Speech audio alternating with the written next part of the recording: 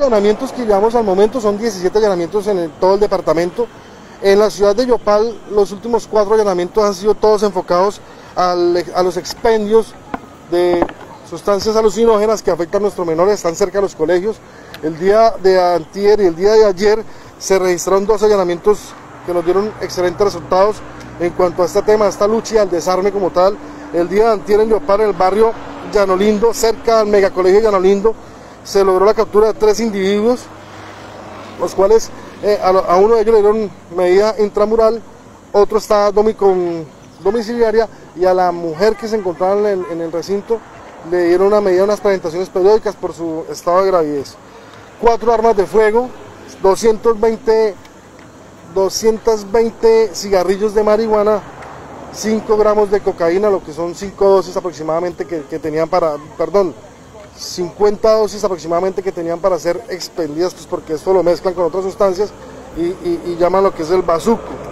El día de ayer en el barrio María Milena, cerca del colegio Yera Restrepo, también hubo un allanamiento en el cual pues logramos la captura de un individuo de 19 años, el cual tenía en su poder para expender 170 eh, cigarrillos de marihuana, 170 dosis, y este era el lugar de trabajo de él, era en su residencia, y en el Parque Milenados y en la, cerca de la Casa de la Justicia también. Tenía, ya había sido, tenía una, una anotación en los escuadras por este mismo delito de tráfico de estupefacientes. Eh, como les digo yo, los, de los 17 allanamientos que llevamos en todo el año, 12 han sido combatiendo estas, este tipo de ollas delincuenciales, este tipo de lugares donde expenden este, este fenómeno, con lo cual pues afecta a la comunidad en general, afecta a nuestros niños cerca de los colegios, es lo que nos toca combatir. Y necesitamos que la comunidad nos informe, nos digan dónde más hay estos tipos de, lugares, de expendios, de, drogas, de vicio, para poder llegar con nuestra oferta institucional y llegar a hacer los allanamientos y poder combatir este, este delito. ¿El allanamiento de hoy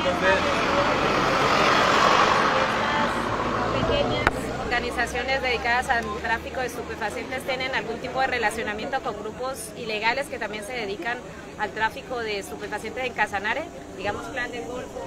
Se pregunta si hay relación entre estas estructuras y grupos armados organizados. Estos expendios eh, son organizados por bandas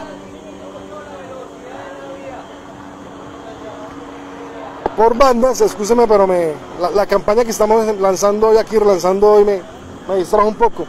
Por algunas bandas que quieren controlar el microtráfico en el, en el departamento como tal.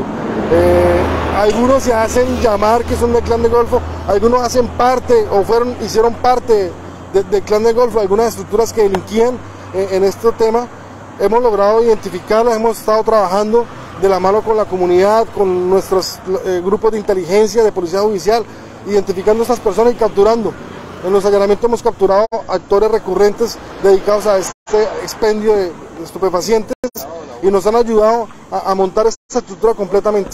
Ya con la Fiscalía de la Nación, con ayuda de nuestros jueces, vamos a dar unas órdenes de captura más adelante para ya erradicar por completo estas estructuras que están dedicadas directamente al microtráfico en el departamento. En la procedencia del estupefaciente.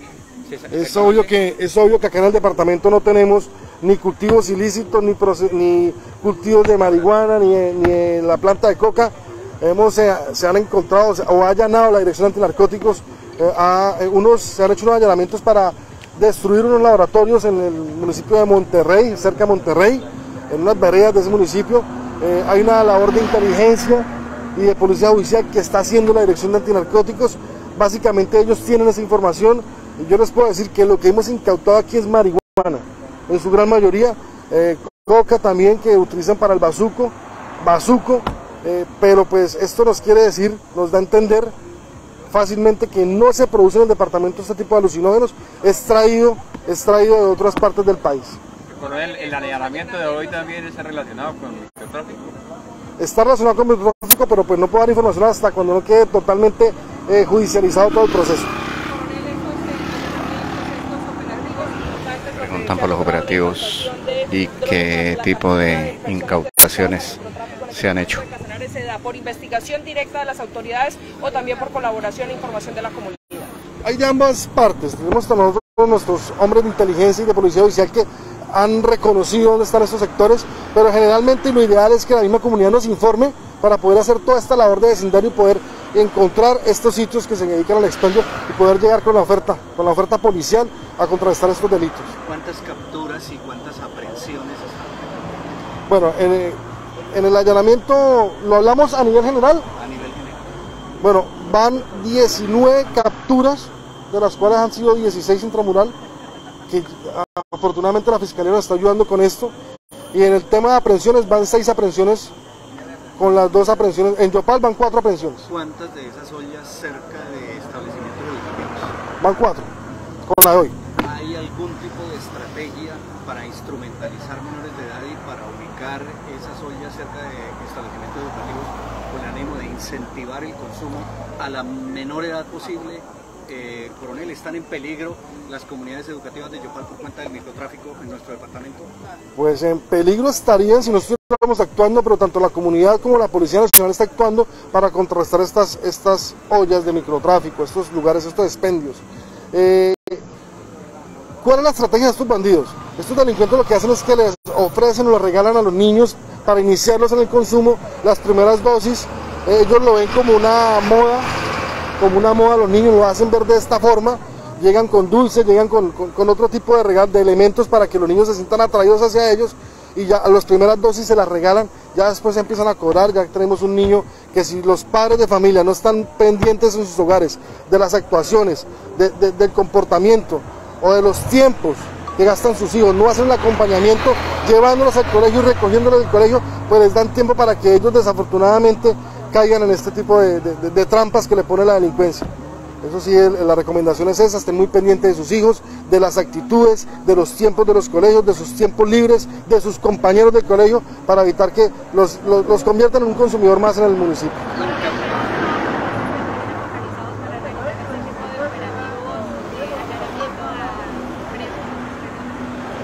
Lo hemos hecho ya en Villanueva, hemos hecho allanamientos en Monterrey, hemos hecho allanamientos con este fin en Paz de Ariporo.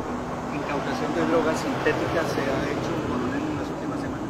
Afortunadamente no hemos encontrado drogas sintéticas en el departamento, esperemos que no lleguen por ahora.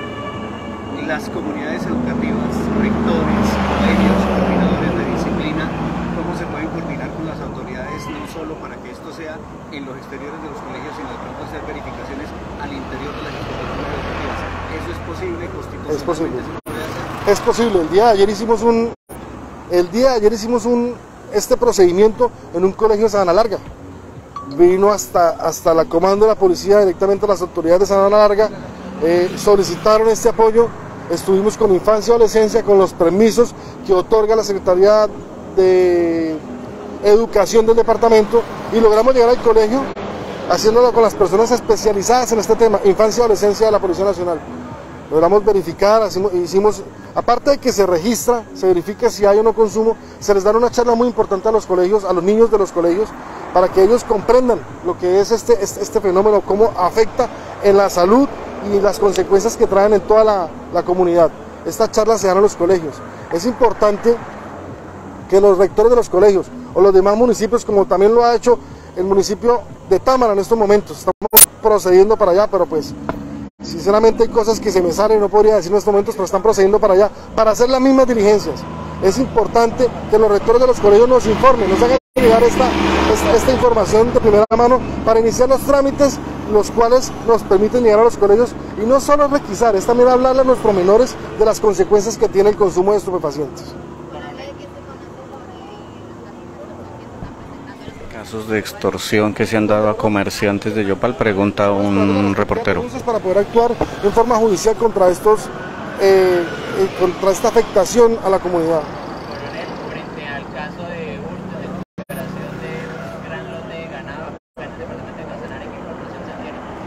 Bueno, lo que puedo manifestar hasta el momento es que habían sido hurtadas 72 cabezas de ganado en una finca cerca entre Aguazul y Maní.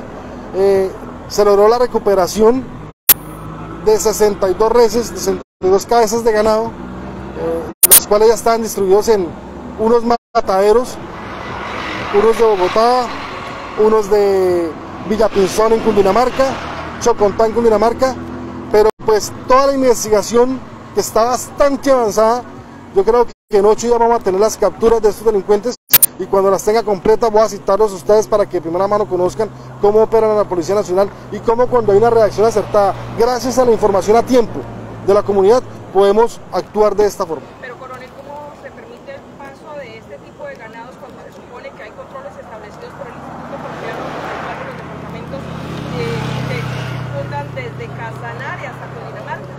Está en proceso de investigación. Yo sí, patrón, buenas tardes. Coronel, eh, la comunidad ha planteado la presencia de motorizados en la vía perimetral del aeropuerto por la parte posterior en horas de la noche. Ya llevan dos o tres noches haciendo esa advertencia. ¿Qué tipo de control están realizando las autoridades en relación con ese tema? Y anoche se dio también una alerta de un aparente intento de hurto a una mujer que iba llegando a su casa y al parecer los ladrones trataron de huir por los techos en un sector residencial de Yopal. ¿Hay información relacionada con esos casos? Bueno, estos temas eh, son flagrancias. Cuando nos informan eh, al 123, ah, reaccionamos con nuestros cuadrantes. En el tema de las motocicletas, ya tenemos identificadas casi cuatro motocicletas, no, cuatro, casi no, cuatro motocicletas, en su mayoría son negras, es la condición que se presentan, que están realizando este tipo de, de- de actividades. Eh, tenemos nuestro grupo halcón de la Policía Nacional, los halcones, ya están detrás de ellos. Yo creo que próximamente podremos dar con la identificación y, y verificar cuál es el, sentido del patrullaje. Ayer se, ayer se logró interceptar una motocicleta de estas y se le quitó, digámoslo así, se le incautó un arma, un arma eh, traumática a uno de estos individuos. Estamos trabajando gracias a la información de la comunidad. Gracias a esta información, como le digo, podemos identificarlo y podemos llegar a este punto. Y sobre el caso de los sujetos que trataron de huir por techos de las residencias. Si fue llamado al 123, de- excúseme, no conozco el tema tan específico, pero si fue llamado al 123, yo sé que la policía reaccionó y tuvo que, tuvo que haber tenido algún tipo de, de identificación a menos de este dato. Del municipio de Monterrey, en zona urbana del municipio de Monterrey, se robaron una motocicleta de altísimo valor. En las últimas horas, el propietario reportó que había recuperado el bien y agradeció la labor de las autoridades, entre esas ustedes y Policía de Carreteras. ¿Cuál fue efectivamente la tarea que lograron ustedes para poder recuperar ese bien? ¿Hubo pago de rescate? ¿Hubo incautación del vehículo? ¿Hubo captura? ¿Qué sucedió ahí, coronel? Cuando somos informados, a- aquí pasan dos cosas y el ejemplo claro que yo quiero que, que toda la comunidad entienda. Cuando, o, o- o o entiendan, o perdone por la expresión, nos ayuden. Cuando pierden una motocicleta es fácil denunciarlo ante las redes sociales. Incluso ahí pueden ser objeto de otro delito que es extorsión. Porque cualquiera ve en las redes que usted tiene su moto publicada y se busca o paga recompensa y empiezan a llamar con mentiras para cobrar este tipo de recompensa. No caigan en ese error. Lo que se tiene que hacer de inmediato es hacer lo que hizo el ciudadano, colocar la denuncia como debe ser ante la Fiscalía General de la Nación o ante la SIGIN de la Policía. Se coloca la denuncia y nosotros iniciamos un proceso, una búsqueda por todo el departamento ya con esa noticia criminal y cuando encontramos el, el- bien que se ha hurtado, el bien que, cual sea el bien, en este caso la motocicleta, pues podemos decir esta moto está robada, figura robada, podemos capturar al individuo que la, que la, que la lleva y podemos poner en buen recaudo la motocicleta, volviéndola a su dueño. Pero todo esto requiere una cadena y la cadena o el orden de la cadena lo primero que tienen que hacer es denunciar, por favor. Yo soy Patria, buenos días, es un honor ser policía, gracias. Venga, ¿dónde está doña Cosa? ¿Qué me hizo Rubiola?